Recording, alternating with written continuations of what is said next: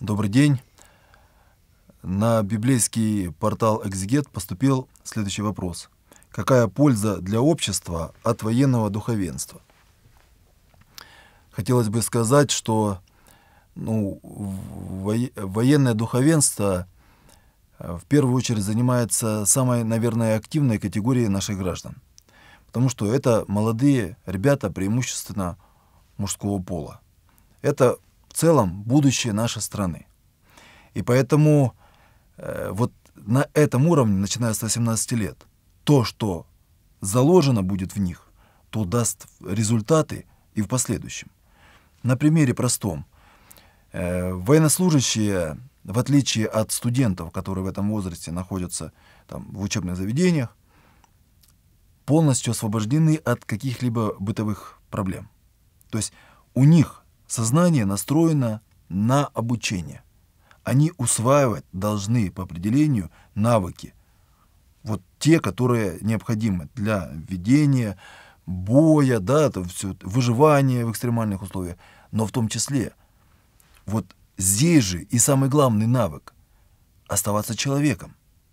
Вот этот момент, он должен быть обязательно внедрен в, во всю систему подготовки военнослужащего.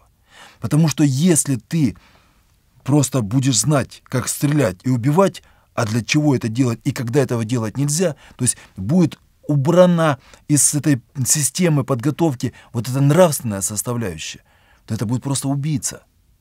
Мы должны понимать, что военнослужащие, особенно в этом возрасте, подростковом, когда еще процесс созревания, они должны готовить не только себя в качестве защитников Отечества, но они должны готовить в себе вот эту нравственную платформу. Они должны понимать, что их дело — это не только оружие, но самое главное их дело — это служение своему Отечеству. И опираться они должны на нравственные принципы, на те незыблемые столпы, на которых государство вообще существовать может. Какие это столпы? Они простые и для всех религий, в принципе, едины. Мы должны поступать с ближним так, как бы хотели поступить, чтобы поступали с тобой. Мы должны учиться делиться с нашими близкими. Пусть они не всегда нам родные люди, но тем не менее армия объединяет, и поэтому каждый военнослужащий является братом. Вот в этом есть особое значение. И военное духовенство, оно состоит не только из православных людей. Как я часто говорю, это э, государственная в целом организация, потому что представители традиционных религиозных конфессий входят в лице своих э, священнослужителей.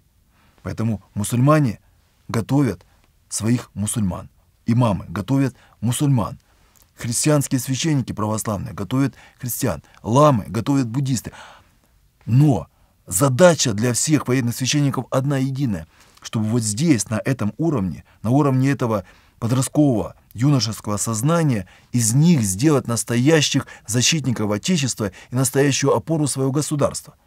Они, пройдя эту службу, которая очень быстро, если они не остаются там, дальше на контрактную основу не переходят, даже вот эта вот срочная служба, они уходят в жизнь, они занимают и государственные должности, и в бизнесе, в науке, образовании, везде. Но вот этот год останется в их памяти навсегда. И от того, что в него в течение этого года в их сознании было заложено, будет зависеть будущее нашей страны. И поэтому значение военного духовенства, оно важно не только для самих этих религиозных объединений, что само собой, но это общегосударственная задача. Именно государственная в том плане, что здесь, на примере военной службы, окормления этих военнослужащих, представители традиционных религиозных объединений, все вот прямо объединяются вокруг одной задачи. Это является примером того, как мы, как религиозный фактор, не разъединяет, а может объединять вокруг одной цели, вокруг патриотического воспитания нашей молодежи и вокруг формирования и строительства нашего государства.